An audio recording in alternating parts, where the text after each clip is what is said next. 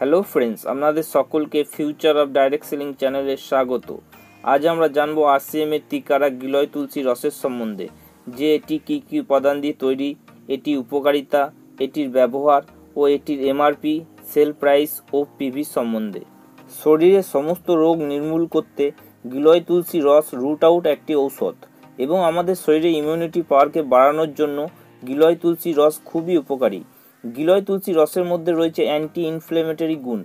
তিক্কারা গিলয় তুলসী রসের প্রধান উপাদানগুলি হচ্ছে গিলয় এবং তুলসী, যা আয়ুর্বেদিক ঔষধে ব্যবহৃত খুবই উপকারী ন্যাচারাল দুটি হার্ব তো এরপর জেনে নিই গিলয় তুলসী রস ব্যবহারের ফলে আমরা কি কি উপকারিতা পাই। এক নম্বর, গিলয় তুলসী রসের প্রধান উপকারিতা হচ্ছে এটি আমাদের ইমিউনিটি পাওয়ারকে বাড়াতে ভীষণভাবে সাহায্য করে।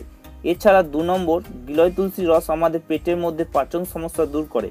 তিন নম্বর, গিলয় তুলসী রসকে সর্দি, কাশি, জ্বরের সময় আমরা ঔষধ হিসাবে ব্যবহার করতে পারি। চার নম্বর আর্থারাইটিস ও ডায়াবেটিস রোগীদের জন্য গিলয় তুলসী রস খুবই উপকারী।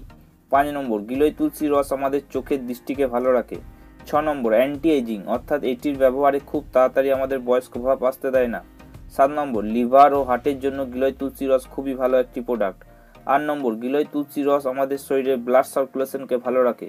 ন নম্বর, গিলয় তুলসী রস আমাদের শরীরে হিমোগ্লোবিনের পরিমাণ বাড়ায় এবং দশ নম্বর, স্কিনের সমস্যার ক্ষেত্রেও গিলয় তুলসী রস আমাদের উপকার দিয়ে থাকে। এরপর জেনে নিই আরসিম গিলয় তুলসী রস আমরা কীভাবে ব্যবহার করব। পনেরো থেকে কুড়ি এম এল গিলয় তুলসী রস কাঁচের এক গ্লাস জলে মিক্স করে দিনে একবার বা দুবার খালি পেটে খাওয়া উচিত। তবে একটা জিনিস আমাদের মাথায় রাখতে হবে কোম্পানির নির্দেশ অনুযায়ী এটি ঢাকনা সিল একবার খোলার পর এটি এক মাসের মধ্যে আমাদের খাওয়া উচিত।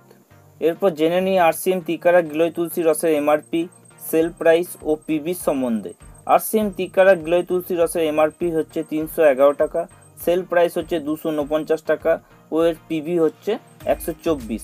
বাজারে গিলয় রস ও তুলসী রস আলাদা আলাদাভাবে পাওয়া যায়, কিন্তু আর আরসিএম প্রথমবার নিয়ে এসছে গিলয় ও তুলসীর মিশ্রিত রস, যার ব্যবহারে আমরা বহু রকম উপকারিতা পেয়ে থাকি।